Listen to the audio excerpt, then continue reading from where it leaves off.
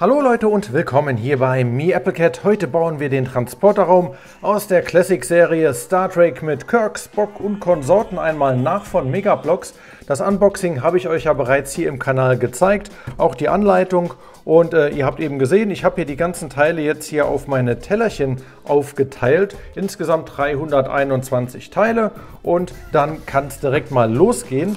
Hier habe ich auch schon die Minifiguren oder die, äh, wie sagen Sie, Micro-Action-Figures äh, gefunden. Einmal Kirk und einmal der halb materialisierte Mr. Scott. Und da hinten steht Spock auch noch rum, aber auf die werfen wir später im Review nochmal einen genauen Blick.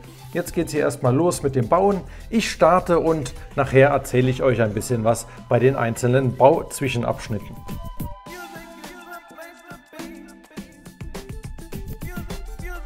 Erster Zwischenstopp auf Seite 10 und wir haben quasi die erste Transportplattform hier schon fertig gebaut, zusammen mit so ein paar Teilen für die Wand. Ja, und äh, ja, hier unten ist auch noch was Orangenes, keine Ahnung wofür. Äh, sieht auf jeden Fall schon mal ganz nett aus. So sieht es von hinten aus. Dort ist das ein bisschen hohler wie von vorne. Ließ sich auch soweit alles gut bauen. Also Megablocks typisch gewohnt gut, Klemmkraft ist gut. Äh, ich habe mich hier einmal schon verbaut und hatte Mühe, die Steine nochmal auseinander zu bekommen. Das Teil hier hatte ich falsch platziert und musste das wieder runterbekommen. Und die Klemmkraft ist halt wirklich gut. Ne? Dann bekommt man sie schwer wieder runter. Und ein Teil habe ich hier verzweifelt gesucht. Das ist diese kleine äh, schwarze Eckfliese hier oder dieses kleine schwarze Eckteil mit den zwei Noppen drauf. Denn hier ist relativ viel Schwarz dabei und das sucht man schon mal ganz gerne. Ich dachte zuerst, weil ich es gar nicht gefunden habe, es würde fehlen, aber es hat dann doch nicht gefehlt. Dann dachte ich, ein anderes Teil würde fehlen. Hier dieser kleine, einer äh, schwarze Stein hier, der dazwischen steckt. Aber auch der war irgendwo schwarz, da sucht man einfach ganz gerne. Was mir gut gefällt, ist, wie hier das mit dem Transporter gelöst ist. Das sieht echt nett aus.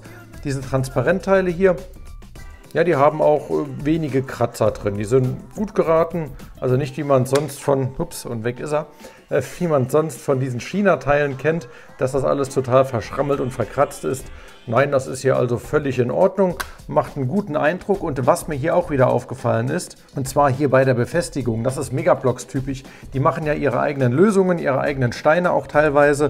Und, na, stellt scharf, hier wird dann unser orangenes Teil dran befestigt. Und zwar würde es nicht hier irgendwie in die Zwischenräume reingedrückt, was man ja vielleicht auch denken könnte. Nein, das wird hier mit diesem Loch in der Mitte, äh, lasst mal schauen, ob ich euch das zeigen kann, hier auf diesen Nupsi drauf gedrückt. Ich hoffe, man kann es sehen, ich zeige es euch mal. Das geht dann nämlich so einmal hier rein und so wird das Ganze befestigt. Also sowas kennt man von Lego her nicht, funktioniert aber sehr gut. Und dann habe ich noch was gefunden. Von der Klemmkraft her lassen die sich 1A verarbeiten. Allerdings gibt es hier schon wieder hm, Farbunterschiede. Schaut euch mal das Rot an. Der untere Bereich ist ja mal wesentlich heller wie der obere. Habe ich schon bei anderen Megablock-Sets gehabt, dass wir da Farbunterschiede hatten. Und das finde ich echt immer schade. Sogar hier bei Teilen, die ja, recht ähnlich sind. Hier kann man es auch noch mal schön sehen. Also die Platte hier ist heller als die Teile hier kann eigentlich nur daraus kommen, dass das unterschiedliche Chargen sind und äh, da war die Kunststoffabmischung bei der Farbe her einfach ein bisschen anders.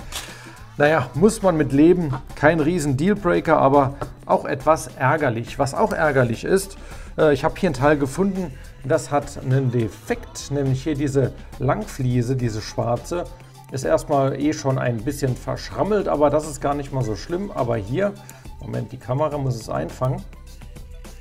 Hier sieht man, dass die beschädigt und deformiert ist hier am Rand. Also das sieht ganz und gar nicht normal aus.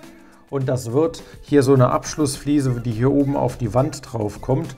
Ich schaue mal, dass ich die so verbaue, dass es nicht großartig auffällt, aber naja, auch kleine Qualitätsschwächen, die sich hier offenbaren. So, genug Schwächen. Das Bauen macht trotzdem Spaß. Ich habe noch eine Menge vor mir und mache mal direkt weiter.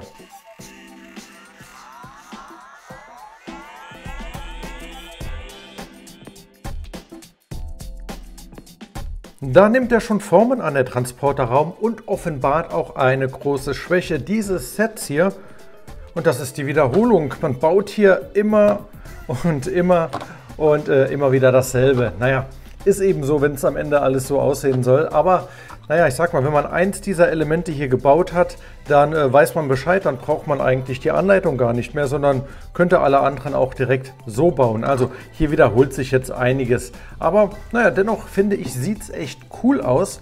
Hier haben wir nochmal so eine Transporterplattform hinten mit diesen bedruckten Steinen und äh, die sind richtig schön. Und vor allem, schaut her, die sind auch durchscheinend. Da könnte man eventuell vielleicht sogar später mal eine LED-Beleuchtung hintermachen, dass das nochmal ein bisschen interessanter aussieht. Hier sieht man an den Seiten, dort sind immer diese Transparentfliesen angebracht auf beiden Seiten und zwar bei allen von diesen Elementen. Unten drunter sieht so aus. Ja, also recht wenig spektakulär, was sich jetzt hier vom Bau äh, her mitteilen lässt. Was man hier noch sieht, das sind die Hinges. Einmal hier und einmal hier auf der einen Seite diese Nipsis und auf der anderen Seite gibt es dann diese Haken und so werden dann später hier die Elemente zusammengeführt, sodass man die ja, äh, ja so zusammen biegen kann quasi, dass man einen Raum hat, aber auch so komplett auseinanderstellen kann. Aber soweit ließ sich alles gut bauen. Es geht einfach, es hat kein Teil gefehlt. Alles in Ordnung. Ich bin mittlerweile hier auf Seite 19 angekommen und äh, jetzt kommt hier was Besonderes. Ja, jetzt kommt hier das Bedienpult inklusive Sternenplakat, Posterbild, äh, was auch immer. Also, soweit der Zwischenstand. Weiter geht's.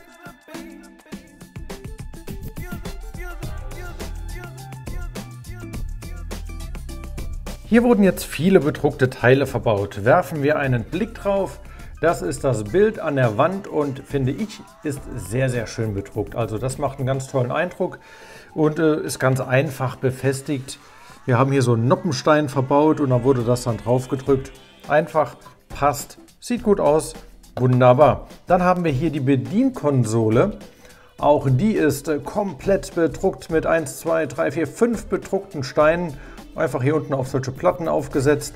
Wenig spektakulär, aber insgesamt finde ich optisch gut gelungen. Auch wenn hier an diesem Stein der Druck etwas unsauber geraten ist. Sieht etwas aus wie so ein Sticker, der hier fast abgeht an der Kante. Aber ansonsten, ja, selbst ein nicht ganz so guter Druck ist mir lieber als die besten Aufkleberchen. Jetzt haben wir nochmal, um diese Konsole hier zu befestigen, eine ganz interessante Lösung, die Megablocks hier anwendet mit einem äh, Spezialteil, das es, glaube ich, sonst nirgends gibt. Und zwar dem hier. Das hat hier auf der Unterseite also so ein rundes Teil mit so einem äh, ja, Stift mit Loch in der Mitte und auf der anderen Seite haben wir solche vier Noppen und das kommt jetzt hier auf so einen ganz normalen 2x4er Stein drauf. Und zwar in der Art und Weise. Einmal rumdrehen und hier mittig dann aufsetzen. So. Dann kommt der Stein hier auf unsere Konsole und dafür müssen wir die einmal kippen und der wird dann einfach hier unten drauf gesteckt. So sieht das Teil dann aus. Wir haben noch diese, diese Einmalnoppe hier unten, diese Einer-Noppe und die kommt jetzt hier in dieses Teil rein, was hier schon aufgesetzt wurde.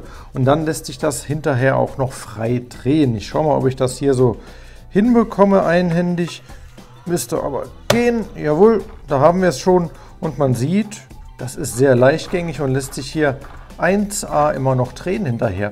Also ich finde bei Megablocks, die machen schöne Baulösungen. Auch bei der großen Enterprise hat man das ganz oft gehabt, dass da einfach gebaut wurde, so wie es Lego nicht macht, dadurch, dass die ein paar Sonderteile anfertigen und dadurch eben viele, viele Möglichkeiten sich noch zusätzlich schaffen, um eben Lösungen für Bauprobleme zu bringen. So, aber genug gelobt, schauen wir mal weiter. Wir sind auf der Seite 25 und äh, ein bisschen habe ich noch zu bauen und dann wird hier alles zusammengesteckt. Viele Teile sind es schon nicht mehr. Das ist das, das und das. Also nur noch ein paar Teilchen übrig.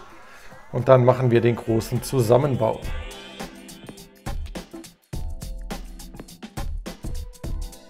Und da ist er fertig, der Transporterraum. Ich fahre mal mit euch ein bisschen näher ran, damit man hier einen besseren Eindruck bekommt. Und ich finde, der ist schön geworden. Also mir gefällt er wirklich gut. Da hinten steht schon Scotty halb materialisiert. Hier habe ich mal unseren guten Captain hingestellt. Und äh, Mr. Spock als Wissenschaftsoffizier bedient natürlich hier das Transporterpult. So, also man kann natürlich auch, wie eben schon erwähnt, ich gehe noch mal einen Schritt zurück, das Ganze komplett auffalten, so dass es gerade da steht. Das sieht dann natürlich ein bisschen ja, ungewöhnlicher aus, aber zum Bespielen, wenn Kids damit spielen wollen, ist das natürlich dann besser. Dann steht Captain Kirk hier komisch in der Ecke rum und äh, wir fahren einfach mal einmal dran vorbei. Hier sehen wir unseren Mr. Scott mit den ganzen Transporter-Plattformen. Ja, schöne Sache. Also wirklich ein sehr schönes Set. Gefällt mir ausgesprochen gut. Wie gesagt, hier das kann man schön drehen, damit das auch nett aussieht. Aber so richtig entfaltet äh, dieser Raum natürlich die Wirkung, wenn es auch ein richtiger Raum ist. Also nochmal zusammenfalten, Konsole etwas drehen und so sieht das richtig nett aus. Die Figuren schauen wir uns gleich nochmal im Detail an, aber hier sind schon mal die Teile, die übrig geblieben sind. Zwei von diesen bedruckten Wandelementen und das hat folgenden Hintergrund. Jetzt muss ich doch nochmal kurz hier auffalten, denn ihr seht, wir haben hier diese beiden äh, Teile mit diesen Symboliken. Das ist von diesem Imperium, also von dieser äh, Spiegel-Universumsfolge. Das ist äh, ja das Logo von denen kann man austauschen dann gegen ganz normale reguläre Steine. Dann hat man den ganz normalen Transporterraum und nicht nur den aus dieser einen spezifischen Episode. Ansonsten, ja, hier noch so eine Standplatte für äh, Mr. Scott, wenn er mal fertig gebeamt ist. Und noch ein paar Kleinteile und ein Phaser. Also alles in allem war es hier ganz gut abgezählt. Und schauen wir uns nochmal die Mini-Action-Figuren äh, an. Die sehen echt gut aus. Also da gibt es kaum etwas dran auszusetzen. Hier dreht sich gerade Spock vor euch. Ihr seht, die haben auch hier diese Gürtel und das sind so richtige Gummigürtel, die da oben sind. Also das ist kein, kein Hartplastik, sondern echte ja, Gummiteile, die da umgelegt wurden. Da kann man sogar hier das Messer reinstecken, das er in der Hand hält. Das gefällt mir sehr gut. Vom Druck her relativ sauber. Also muss ich wirklich sagen, man muss immer diese kleine Größe bedenken. Schaut meinen Finger und den kleinen Kopf. Für die Größe ist der Druck ausgezeichnet. Das Einzige, was ich hier bei ihm bemängele, ist, hier unten sein Kinnbärtchen geht nicht ganz bis zum Kinn runter.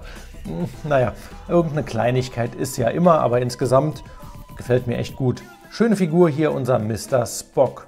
Captain, oh Captain, ja auch du bist gut getroffen, finde ich. Auch er hat hier diesen Gummigürtel, der ihm hier gerade ein bisschen hochgerutscht ist. Äh, der ist hier hinten allerdings ein klein bisschen unsauber abgeschnitten, kann man aber mit einer Nagelschere ganz einfach korrigieren. Etwas merkwürdig sehen die Arme aus, da er hier äh, nackte Oberarme auch hat und keine Uniform trägt, sieht man halt die ganzen äh, Scharniere und so. Ja, sieht ein bisschen komisch aus. So eine Uniform verdeckt das einfach besser, aber insgesamt auch vom Druck her, vom Gesicht her gefällt er mir echt gut. Und auch er hat die Lochaugen, die habe ich ja beim letzten Mal schon erwähnt.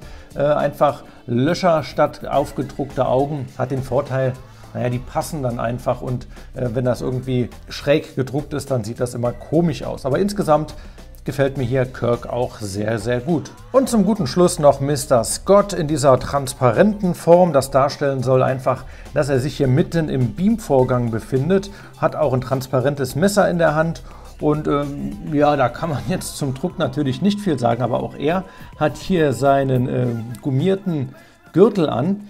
Ansonsten, ja, man kann nicht wirklich erkennen, dass es Mr. Scott sein soll.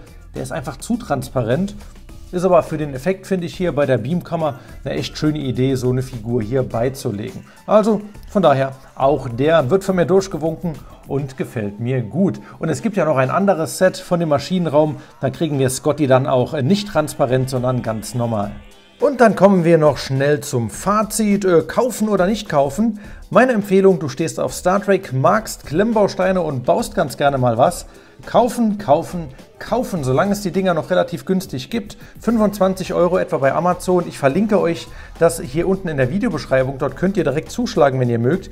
Ich finde das Set hier echt klasse. Es ist vom Bauen her jetzt nicht so abwechslungsreich, weil wie gesagt hier hinten die Elemente, das ist im Prinzip immer wieder dasselbe.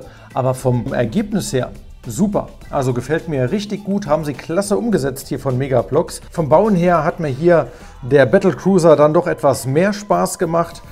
Aber es sind beides tolle Sets, wobei ich äh, das hier ehrlich gesagt bevorzugen würde. Ihr könnt euch ja mal alles anschauen. Ist alles in meiner Playlist Lego, Lepin und Co. verlinkt, was ich mir hier schon so zusammengebastelt habe. Auch die große Enterprise. Auf jeden Fall, ich finde das Set super und äh, kann es jedem, der auf sowas steht, bedenkenlos und bedingungslos empfehlen. Echt tolles Ding. Das wäre es gewesen. Ich bedanke mich fürs Zusehen, Freunde, und sage Tschüss, bis zum nächsten Mal. Macht's gut.